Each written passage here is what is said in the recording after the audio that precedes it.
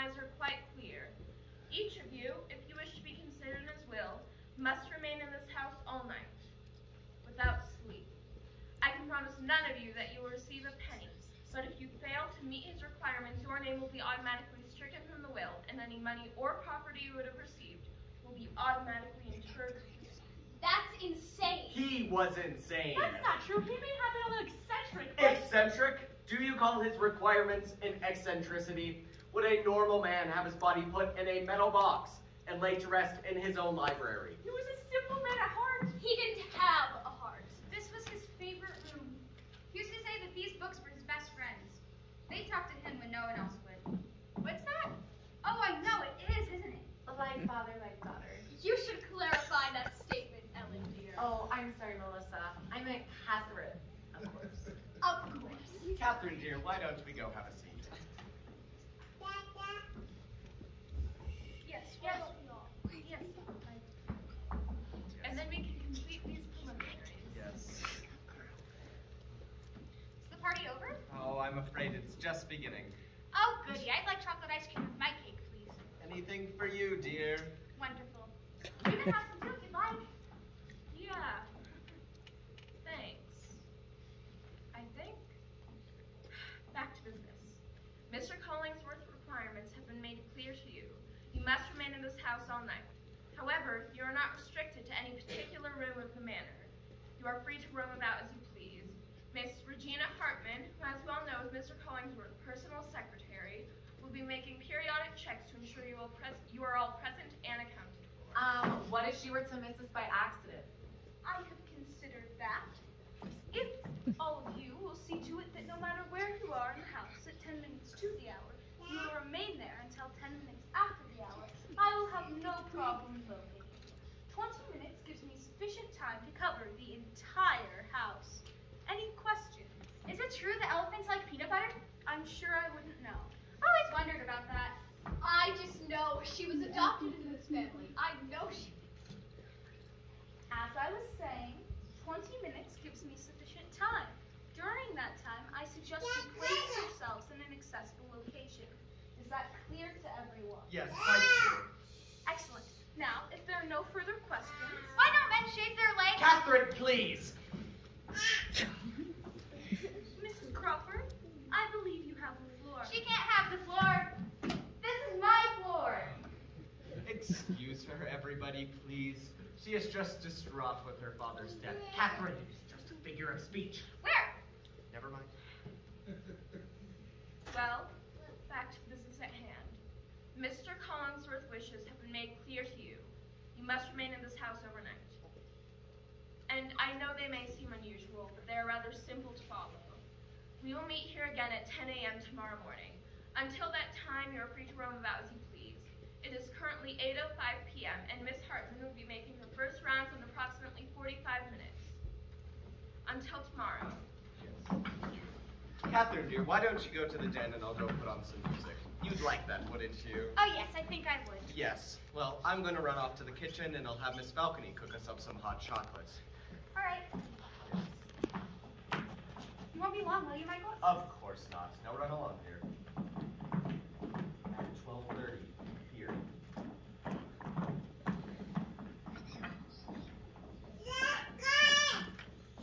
Belinda said you rang, madame.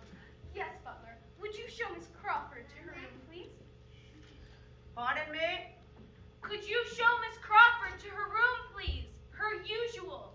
Yes, of course, the usual. No, no, Can you show Miss Crawford her room? Yes, of course. Butler? It's all right. We'll manage. Thank you so much. Wait for me. Good luck.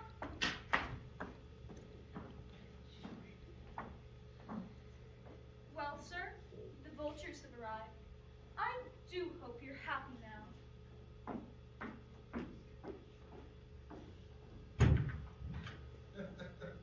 Ah! I'm coming, I'm coming. What kind of person comes ringing these doorbells at this time of night? And where's that butler when you need him? Oh, Lordy, I almost forgot about you. Why couldn't you go and be laid out in a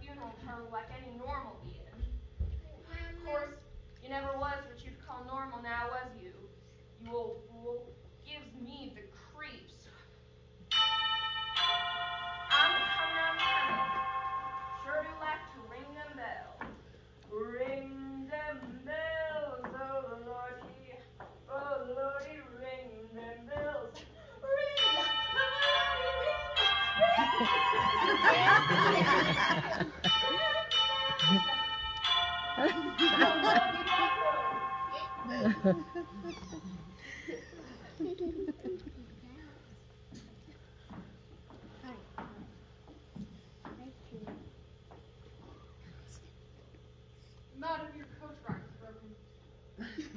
Yeah, what I was saying about that no good butler earlier, true. Well, I have to tell you I wasn't in the house, but I believe you.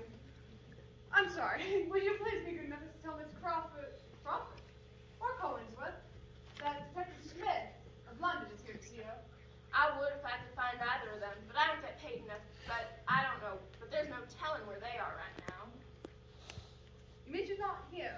Well, I just don't get paid enough to go run around looking for any of them crazy women. Everyone who's here is here, but they ain't here here. They could be anywhere. To sit here and wait and, and see if one animal will show up sooner than later.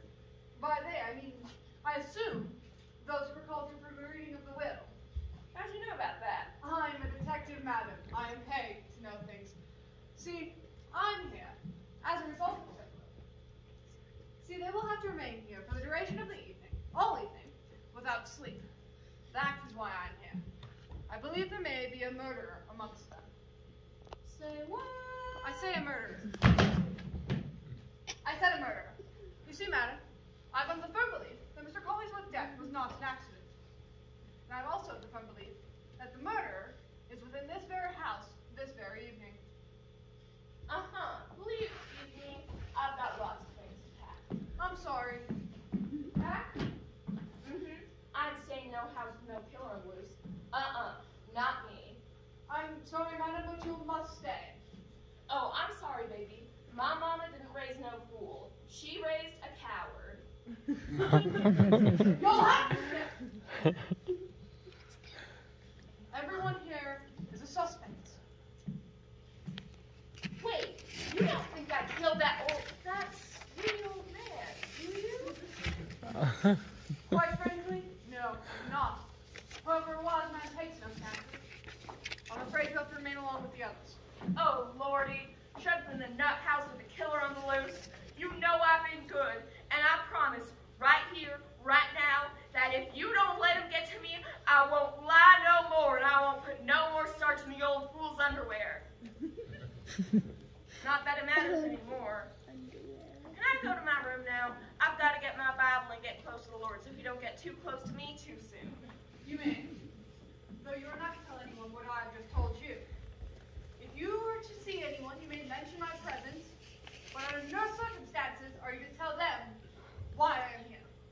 Yes, sir. You may go to your room. If I were you, I'd lock the doors and stay there till morning. Oh, you don't have to worry about me. There ain't nobody getting me out of here.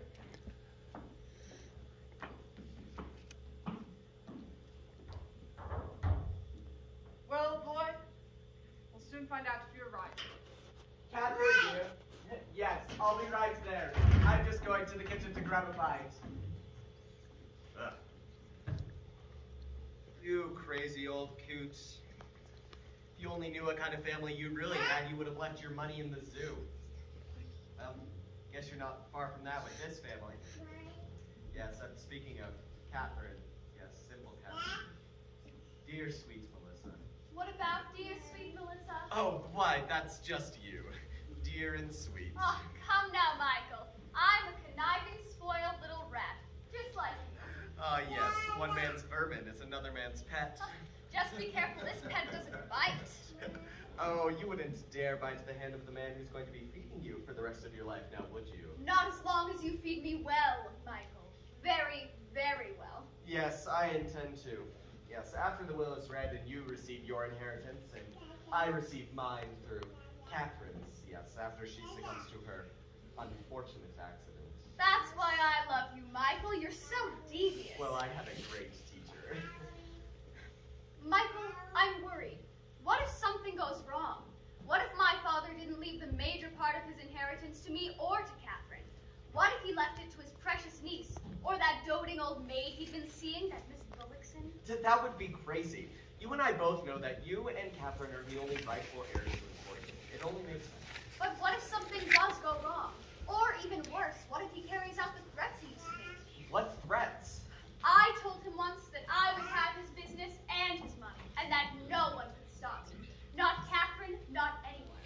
He told me if I didn't change my ways, if he thought he couldn't trust me, he would hide the money and leave the business to someone else. That would be crazy. How, how could he do that? The money is in the bank. He could have turned it into cash. That would be absolutely insane.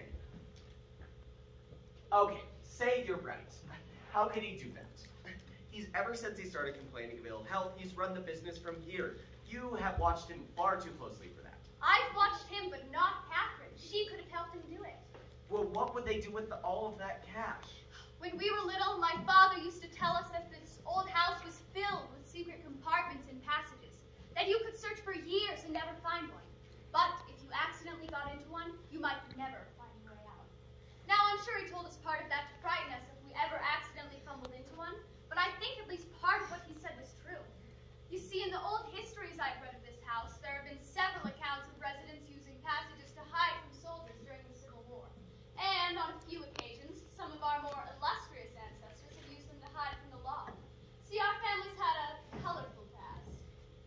Yes, very colorful. And ours will be no less, I assure you. Ours will sparkle with the blue of diamonds, the scarlet of rubies, and the luscious green of money. Isn't that a marvelous collage of color? Yes, yes. You haven't been listening. Well, of course I've been listening. As I've already said, you and Catherine are the only rightful heirs, and he cares about his precious Catherine far too much to leave her with nothing. I suppose you're right. After all, I am his daughter, even if we weren't on the best of terms. But terms? That is putting it lightly.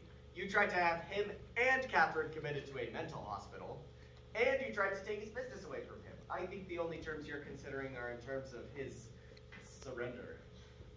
You know as well as I do that he wasn't fit to run that advertising firm of that magnitude needs fresh blood, fresh ideas. I've been doing all the work for years. He was nothing but a figurehead, but he still insisted on making all of the decisions. He rejected every proposal I made, and I had to do everything behind his back. Sure, maybe some of the ideas didn't work. Maybe the business lost a few customers, but we were better off without them. Mm-hmm. They had no foresight, no imagination. They insisted on nothing run-of-the-mill campaigns. Oh, darling, your hands are cold. It is rather chilly in here. Why don't you pour some brandy? Oh, I don't know why I'm getting myself into such an uproar. After the will is read in the morning, the business will be mine, and there will be nothing to stand in my way. Nothing in the way of me and my destiny.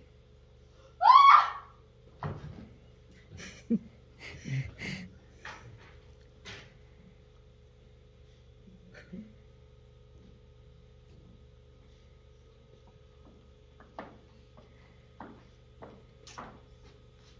What are you, the battleship spaghetti? I can't help it. I'm scared. I don't like the idea of being in the same house with no killer. Ever since my Georgie left me, I don't sleep so good at night. My nerves, they're shot. Yeah, well, your nerves won't be the only thing that, that gets a shot if we don't get out of here. What's that? What's what? What do you mean? What's the what? What's that noise? I don't hear no noise. Besides, me mama, she always told me that if you ignore something long enough, it's a gonna go away. You see? My mama never did know what she was talking about. She's Melissa! Please tell me she's sleeping. She's asleep. She's dead. I just knew it. She's dead. The killer is done. Struck again. No, Lordy. Michael! Michael! How little he's around. You think he doesn't love me anymore? Oh, are you going on the trip with me? Oh, honey, there ain't nobody going on the trip you're taking, maybe your daddy, and he's on a little trip of his own. And now Miss Melissa's done gone and joined him. Oh, Lordy, the killer is struck again. Excuse me, but what trip is Melissa going on? Can I go with her? Ah! Oh, that's nice. The killer is struck again. Oh, Lordy. Oh, he is struck again. He is struck again. The killer. Ah, please don't kill me. I surrender. I surrender. Pardon me, madame. What is she talking about? What killer? Yeah, this is preposterous. I was just talking to Melissa. Yes, uh, Melissa, dear. Why, she must have just fainted. Linda, please go to the kitchen and get her a cold compress and a glass of water. I ain't going nowhere in this house alone. Not with no killer on the loose. Um, why does she keep saying there's a killer here? Ask him. He'll tell you. As for me, I'm late for a date. Madam, if you insist on trying to leave, I'm afraid I'll have to place both of you under arrest. Under arrest? What is this? Who are you? Detective Smith, London, here on assignment. Now, you see, quite simple. Just checking for life signs. Oh yeah, she is alive. I can hear her breathing. Well, of course she's breathing. She just fainted. Prone to fainting spells, is she? I'm not that well acquainted. I wouldn't know. I'm just marrying her sister. Why don't you go and ask her? Ah, but she is unconscious. I'm talking of her sister, you idiot! See here, my good man. No call for unpleasantries. Simply doing my job, you know. Well, despite what Belinda had told you, Melissa is not dead. So how about you go do your job elsewhere? Afraid that that's impossible. I was called here specifically to handle a murder case and handle it I shall. How do you do, madam? Who's murdered? Mr. Hiram Hollingsworth. Wait a minute, that is ridiculous. Mr. Collingsworth's death was an accident. Everybody knows that. That is what everyone was led to believe. Oh, she's coming too. Excellent. What I have to say is for all of you. Hey! Ears. You went knocked over the books. Apologies, madam. Oh, oh, don't talk like that, please. You didn't need to, really. Such language. Please excuse them. They didn't intend to be so harsh. Quite all right, madam. I think. Michael, what's happened? Where am I? It's okay, Melissa. You just fainted. Everybody is here now. How are you feeling? I feel. Michael, you, you'll never believe what I saw. It, it was him, and in his face, it was horrible, and he was going to kill me, Michael. Whom did you see, madam? Uh, who are you? Detective Smith, London. Here on. Now, madam, whom did you see? My father. What? Utterly ridiculous.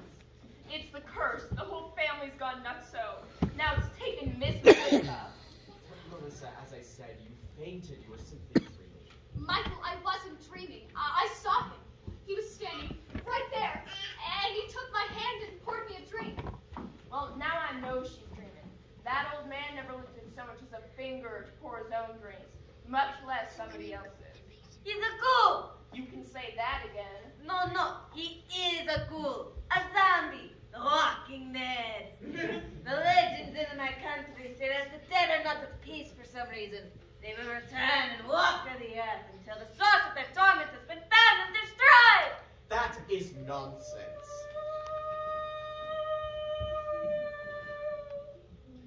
I should think it nonsense, especially since we can all say that Mr. Is here at rest in this very room. You know what? On that subject, that's quite enough. See, if he was out walking about, as you so presume, he would not be writing this lovely mental box. Which I can assure you he is. Um, I'll go get that cold compress for Miss Melissa now. Come on, Miss Balcony. Michael, I wasn't dreaming, I'm telling you. Obviously, Miss Collingsworth, you were simply dreaming. But it was so real. Dreams often are Miss Collingsworth. And now, since Mr. Collingsworth is still dead, I still have a job to do. Uh, it is of my unfortunate duty to inform all of you that Mr. Collingsworth's death was likely not an accident. It was quite likely cold-blooded, premeditated murder. How did you come to that conclusion? Quite easily, if you would let me explain. See, a while back, as you all know, Mr. Collingsworth began making business trips to London. During that time, he and I quickly became acquaintances. You could even say we became friends. At least that's one. How can you say that about your father? Uh, why don't you stay out of this? Please, may I continue? See, a few months ago, he began making frantic phone calls to me, saying that someone was trying to kill him. It first started with a rattlesnake in the bathroom. At first, his family brushed it off as being nothing more than an accident. Quite likely, as it is a heavily wooded area, though found it odd that it happened all the way up to the third floor. Though it was odd and quite suspicious, that was all it was. Suspicious. No evidence. But it didn't stop there. No. Other accidents continued to occur, such as rat poison left in sugar containers, and roller skates left on stairways. Uh, We're all aware of the accidents my father had. He was a senile old man. Most of those things he probably caused himself, either through forgetfulness or carelessness. I said, there was no proof. I must admit I was skeptical myself even, though he continued to make those paranoid calls to me, claiming that someone was trying to do him in. He asked me to come to America and help. I was in the middle of filling out the paperwork and contacting locals when I received the unfortunate phone call. Needless to say, I hurried down immediately. See, in our many talks, he had discussed each reason everyone in this room might have to kill him. And since I've had a chance to do some research here, I'm afraid I agree. You mean he was suspicious of all of us, including me? That is correct, Miss Gold. I don't believe it. And neither do I. If he spoke so freely with you about all of this, then tell us, why was he suspicious? What were his reasons? I don't mind telling you all, madam. After all, you do have the right to defend yourselves. Then tell us. Yes, please do. Oh, goody, is it time for a bedtime story? Yes, Catherine, dear. Now, please begin. Very well. See, it was all based upon the same premise. His fortune. That's ridiculous. None of us even know whether we were included in the will or not. It's been sealed for months. Yes, though it is possible that someone did get into that will and find out what was on it. Um, wait. How how's that possible though? Because the will has been sealed and in the possession of Mrs. Crawford for months now. Well, may I remind you, seals can be broken. And, well, sealed again. If you'll excuse me. Um, wait. What? I'm so confused. Do you mean you suspect Miss Crawford? And her accomplice, whoever that may be. See, as I said, everyone in this room had their reasons. Melissa, Catherine, as his daughter, you will obviously defenders. Michael Woolsey, as Catherine's fiance, you two become suspects. That is ridiculous. Ellen Collinsworth, surely you wouldn't suspect your uncle to forget his favorite niece. Miss Hartman, surely you were aware of Mr. Collinsworth's appreciation for your years of service, but you were also likely quite aware of his reputation for, let's say, not overpaying his employees. I can assure you, his reputation was well founded. However, that is not